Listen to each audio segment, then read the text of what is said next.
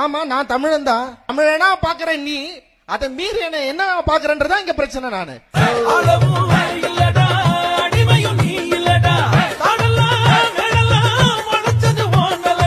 நிலம் தான் இங்க பிரச்சனையே இல்ல.